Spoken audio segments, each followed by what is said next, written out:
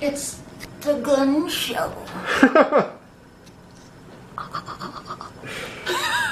Losing weight, it's not just a physical thing. It's here and it's here. Fight through it. You can do it. Don't give up. Yep. Uh, uh, uh, Hi guys. Hello.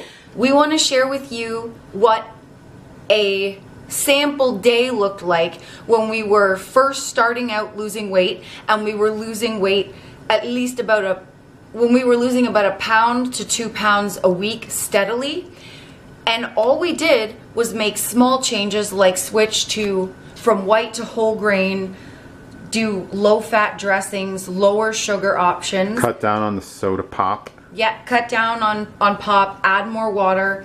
We didn't really take away any of the we didn't take away anything actually. We just made healthier versions, lighter versions of our favorite foods. We still we knew we still had to like the food. Mm-hmm. That's the key to portion control having it last is Enjoy. enjoy and eat the foods you like. Yeah. Because you're only getting you know, you're not getting as much as you used to, so they have to be enjoyable foods. You have to really love it. And we looked forward to every meal every day. And we couldn't believe we were losing weight eating what we were eating. So I'm going to show you a typical day. And it I'm going to give you a spoiler. It includes french fries. Yeah. So, hello. so first I'm going to start with breakfast. And breakfast is was a and still is actually a protein pancake with a quarter cup, which looks like this, of egg whites, which is two egg whites. It's very simple too. That's the other key to this. Um, we tried the complicated diets or the cooking, you know, gourmet meals every single day, and it's just not sustainable for busy people like us. So No. it has to be very simple recipes too. This pancake literally takes me two minutes to whip up. Sometimes I prep it in advance, but I've been making it every morning the last few days, and it literally takes two minutes to whip up and, and then a couple minutes to cook.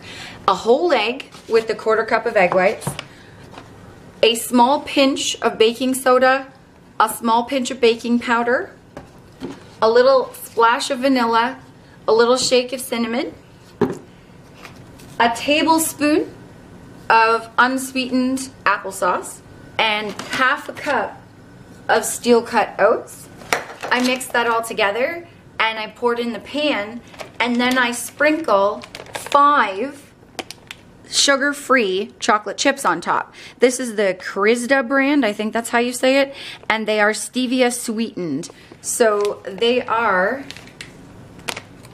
sugar-free with two of the poly uh, sugar alcohols. Which are just carbs, basically. Yes. So it's a great sweet little treat. And then I top it with a tablespoon of no sugar added syrup. So protein pancake with chocolate chips for breakfast. So again, pancakes, like regular pancakes, used to be our favorite with chocolate chips. We made a healthier version, and we And- lost weight eating these. And it's made with steel cut oats, which are slower digesting and include more fiber and help you stay fuller longer. The chocolate chip satisfies your sweet tooth, and the eggs provide you protein. So it's like almost a perfectly balanced meal. You're just missing fruit, which you can add if you want. But fruit is in our next one. Small apple and a tablespoon of light peanut butter for a snack. Oh, this is one of my favorites. That's one of mine too. You cut it up and you dip a rooney, your apple slices into peanut butter. So good. We usually try to also, I'll, we'll add this and we usually try to spread our meals two to four hours apart. yeah. You know, To eat steadily to keep your blood sugar steady and your metabolism revving. and you know, keep it to as close as that as possible. We know you, like, we're not robots, right? But No. two to four hours every meal. And then lunch. Lunch, a sandwich. Ham is one of our favorites. We use the extra lean Black Forest ham. This, I always check the back for the serving size.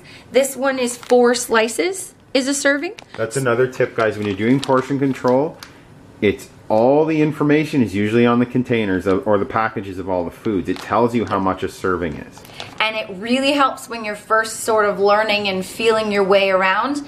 You can look pretty much on anything, and if you can't find it and you Google it, it will tell you what a portion is of that item. Like if you're not sure how big of an apple to eat, Google what a, you know, how many servings is in a big apple. You can do that and it'll tell you online.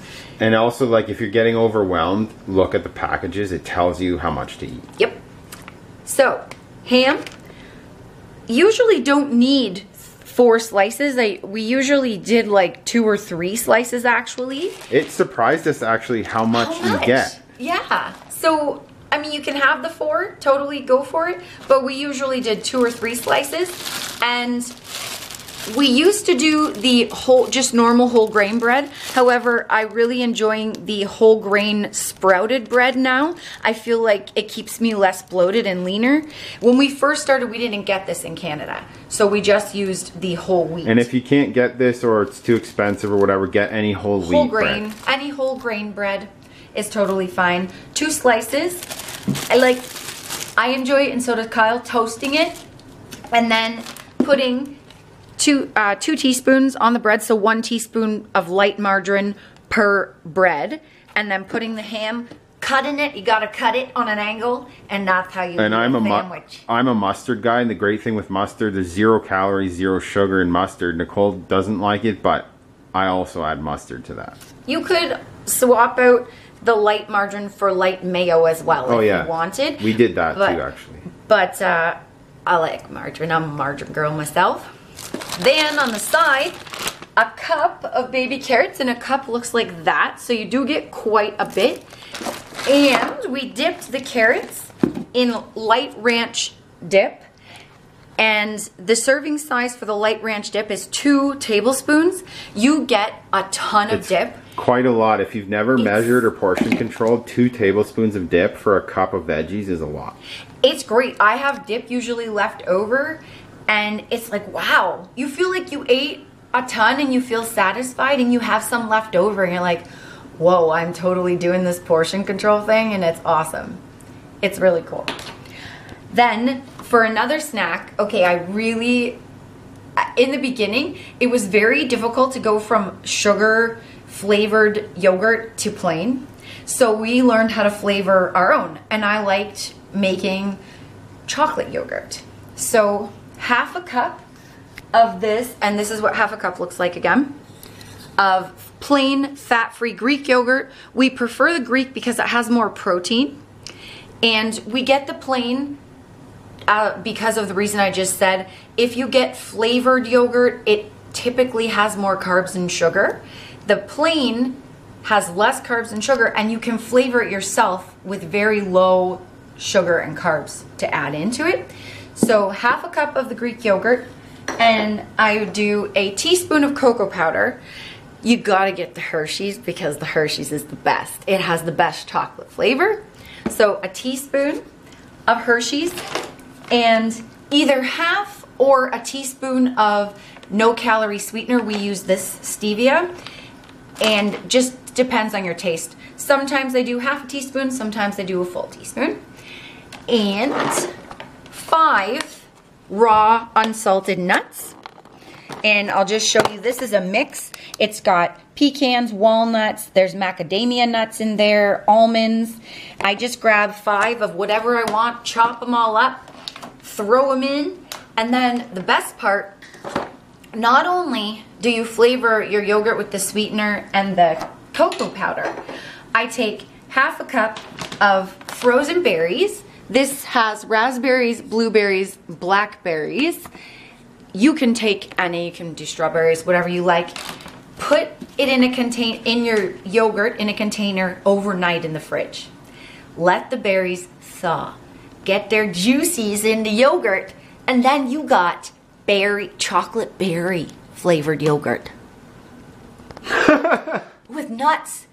It tastes like like a yogurt parfait of heaven, like a chocolate yogurt parfait. It's so delicious. So that's your snack. Then we're gonna go to dinner. I told you about the fry. You're about to get down. so, mini pizzas. Or you didn't tell us about the pizza too. I wanted to keep something a surprise. Pita pizza.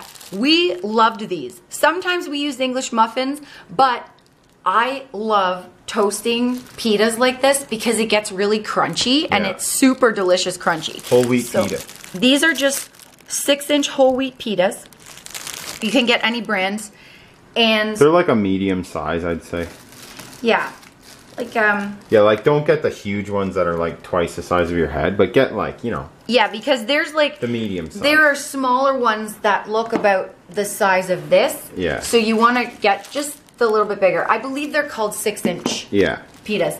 So a six inch pita, uh, about a tablespoon of sauce. Sometimes we use light Alfredo sauce. Sometimes we use normal pizza sauce. It totally depends on what you'd like. You can get pasta sauce we did too sometimes. Sometimes we did pasta sauce.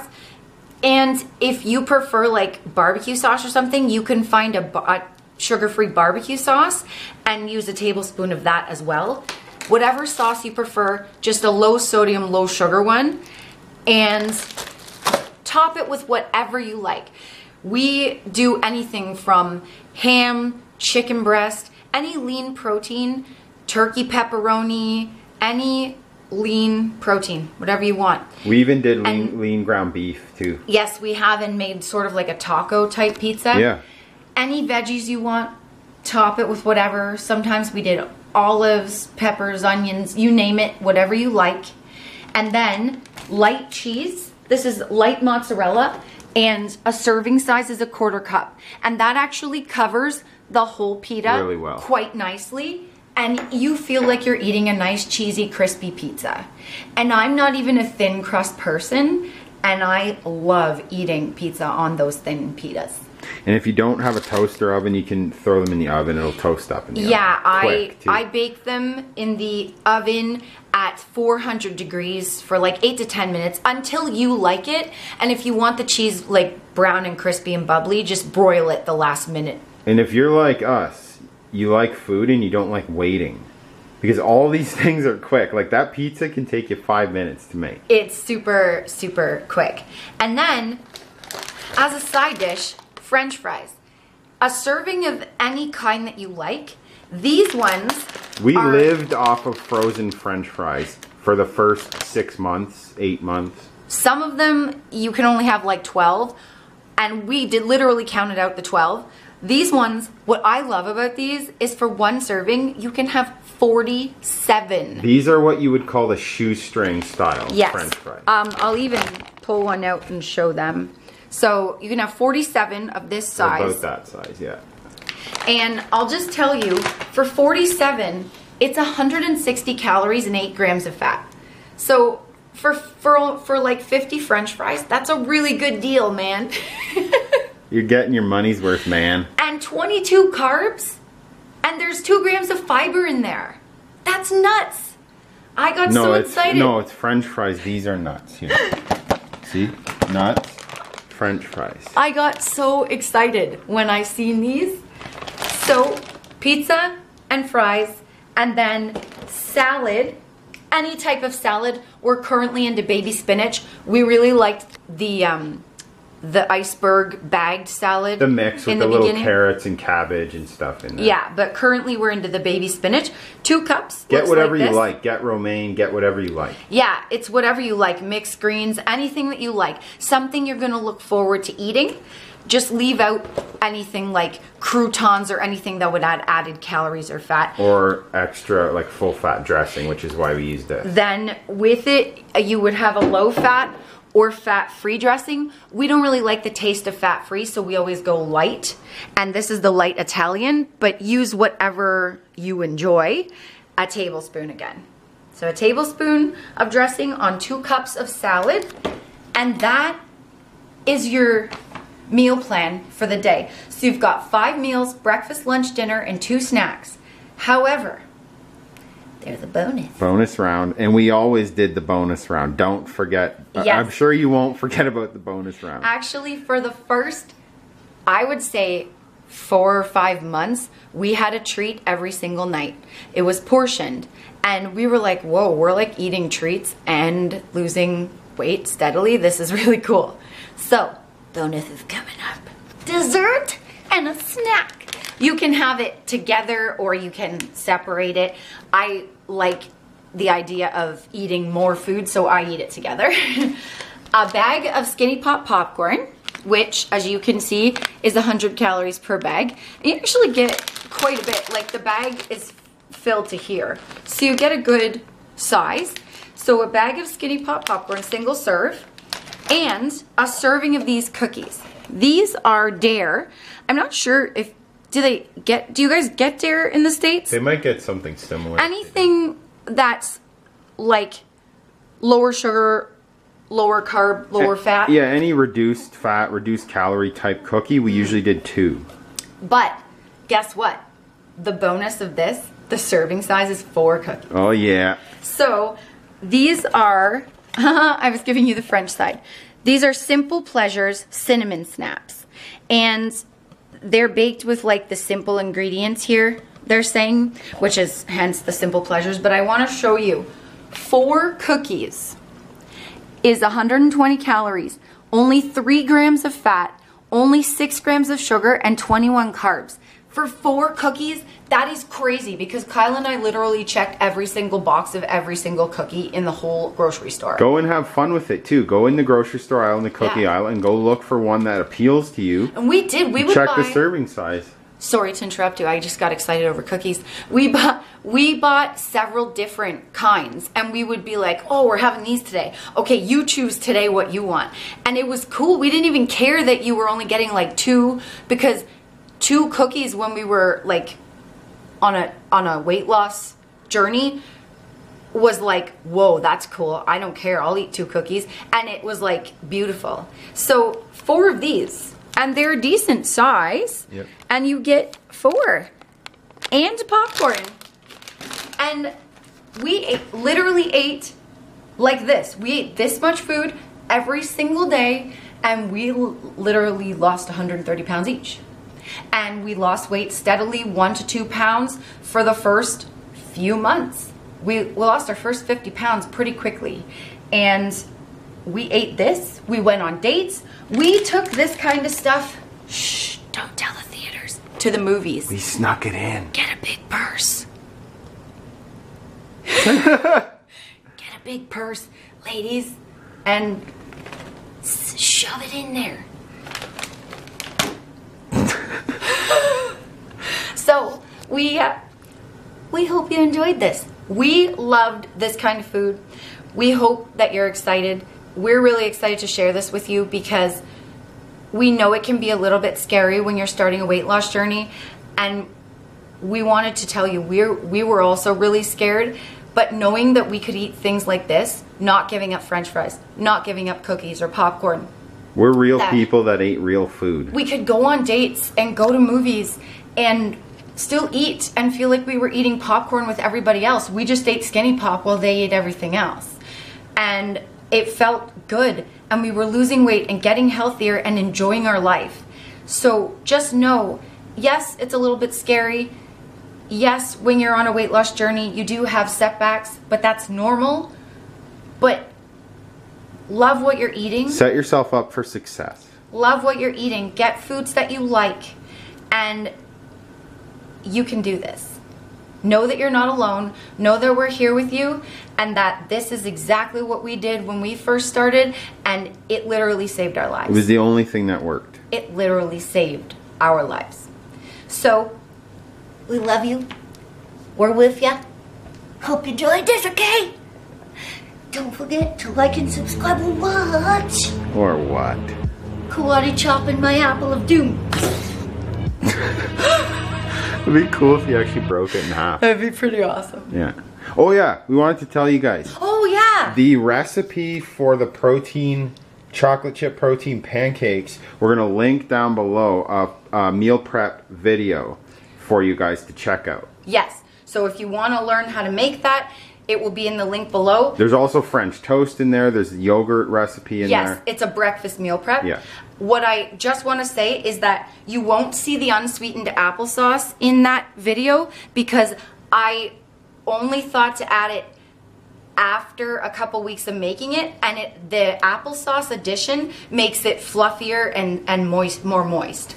So you can choose to do it that way, or you can add the applesauce in, and you just splink it in with the rest of the stuff.